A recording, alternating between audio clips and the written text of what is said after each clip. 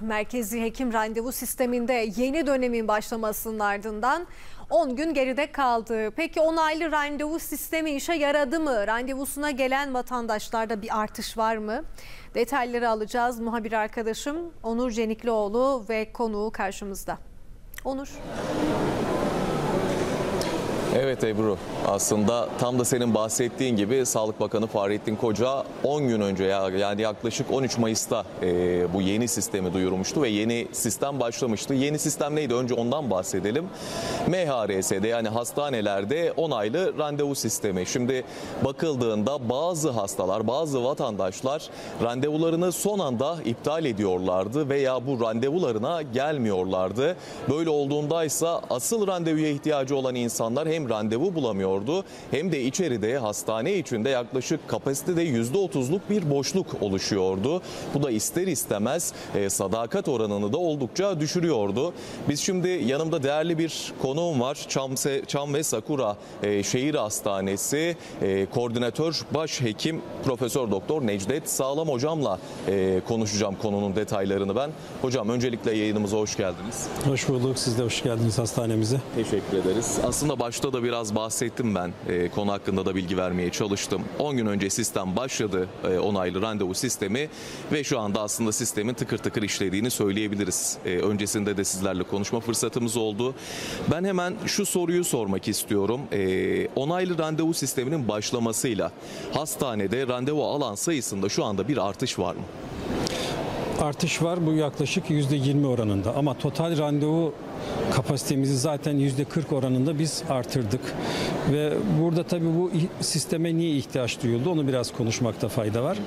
Sizin de söylediğiniz gibi hastalarımız randevu alıyorlardı. Randevularını unutuyorlardı veya ihmal ediyorlardı, gelmiyorlardı. Bu oran yaklaşık %30 civarında veya randevuya sadakat oranı dediğimiz oran %70'ler civarındayken bu yeni uygulamada bakanlığımız hastalarımıza sorumluluklarını hatırlatıcı bir sistem geliştirdi. Sağlık Koordinasyon Kurulu kararıyla. Ee, şöyle bir sistem, 3 gün sonrasına randevu almış olan hastalarımız bir gün öncesinde saat 20 civarında aranıyor bakanlığımız tarafından veya kendisi MHRS sistemi üzerinden e, online olarak da randevusunu değerlendiriyor. Eğer randevusuna gelmeyecekse iptal ediyor. Onlara bir yaptırım yok. Ama onayladığı halde veya ihmal ettiği halde randevusuna gelmeyen hastalarımızla ilgili bir e, sorumluluk olsun diye, onlara caydırıcı olsun diye bir 15 günlük süre içerisinde aynı branştan randevu alamamak şeklinde bir yöntem geliştirildi. Ee, bunun da e, amacı e, randevuya gelmeyen hastalarımız randevularını iptal etsinler ki onlardan oluşacak boşluğa talep bırakan hastalarımız randevu alabilsin. Bu şekilde bir uygulamayla son 10-11 günlük süre içerisinde randevuya sadakat oranımız %70'lerden 90'lara çıktı. Aslında iyi de bir rakam hocam 10 günde. Kesinlikle yani burada randevu alamayan hastalarımız randevu alabilir hale geldi. Biz hastanemizde günlük 20 bin hastaya hizmet veriyoruz, poliklinik hizmeti. Bunun 10 bini randevulu olarak değerlendiriliyor. Önceden bu sistemden önce 4 bin civarın, şey 6 bin civarında bir randevu kapasitesi açıyorduk. Şu anda 10 binlik kapasite açıyoruz ve bu 10 bin rakamının 9 bini bu sistemle bize randevu olarak geliyor. Hem kendisi rahat, huzurlu bir sağlık hizmeti alıyor hem de sağlık hizmeti sunucular olarak biz hastaneler ve hekimler daha konforlu bir hizmet sunuyoruz. İçerideki karışıklığı da aslında bir anlamda önlüyor değil mi hocam? Evet yani bu e, hastalarımızın alanda belli saatlerde yığılmamasını da sağlıyor. Randevusuna geliyor, zamanında muayenesini olup gidebiliyor. Dolayısıyla alanda bir birikme olmuyor. E, hekimlerimiz de e, ne kadar hasta bakacağını, ne zaman bakacağını bildiği için rahat bir hizmet sunumu oluyor. Bütün hastane çalışanlarımız da bu anlamda iyi organize olabiliyoruz. Hocam hemen şunu sormak istiyorum ben. Ee, Sağlık Bakanı Başkanlığı'nda kurulan Sağlık Koordinasyon Kurulu var. Ee, bu kurul devam ediyor mu? Aldığı kararlar mesela sizi ilgilendiriyor mu bu kurulun? Evet bu kurul Sağlık Bakanımızın başkanlığında başhekimlerden, genel müdürlerimizden oluşan bir kurul. Bunu belki e, bilim kurulu olarak e, adlandırabiliriz. Pandemiden alışığız çünkü bakanlığımız e, pandemiyi bilim kurulu vasıtasıyla yönetti. Bu Sağlık Koordinasyon Kurulu da Bakanlığımız baş, e, Başkanlığında toplanıyor.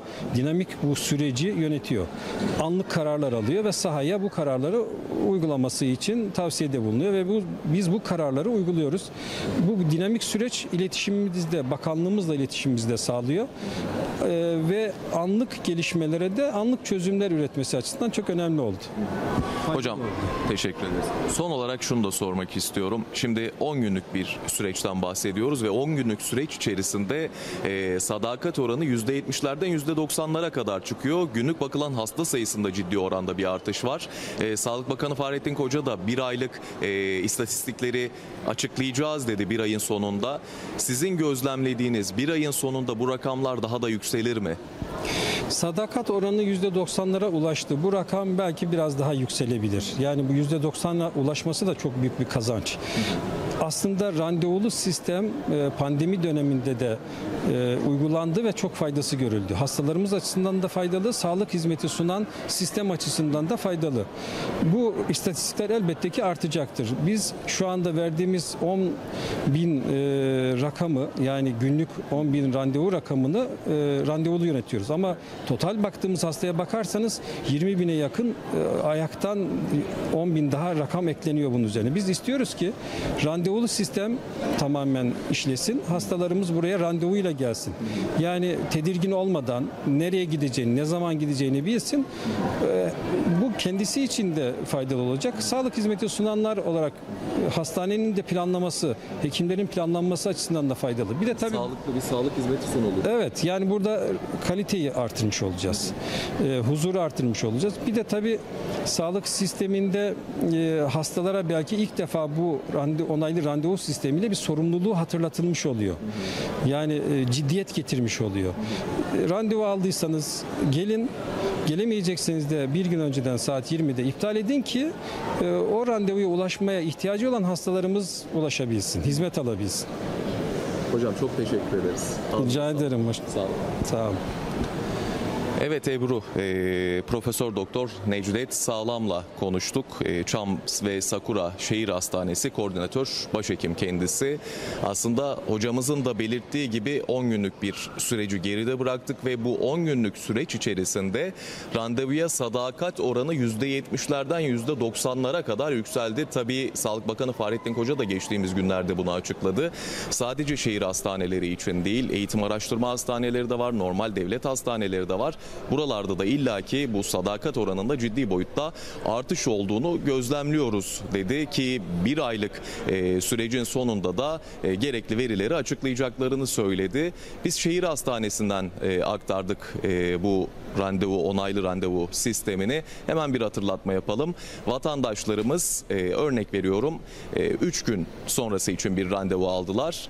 Bir gün yani randevuya bir gün kala saat 8'e kadar randevularına onay vermeleri gerekiyor. Aksi takdirde randevuları iptal ediliyor. Eğer onay verdiler ve randevuya gitmediler böyle olduğunda da randevuları e, iptal oluyor tamamen ve 15 gün sonrasına kadar da aynı poliklinik, poliklinikten aynı bölümden bir daha randevu alamıyorlar diyelim ve bu son gelişmelerle birlikte sözü tekrar sizlere bırakalım.